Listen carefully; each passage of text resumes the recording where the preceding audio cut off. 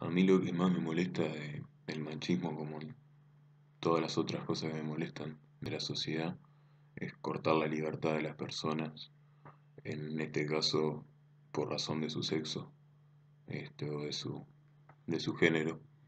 Eh, y más todavía a los niños cuando ya desde chicos se les empieza a enseñar qué es de varón y qué es de nena y, y cómo deberían comportarse o cómo no deberían comportarse.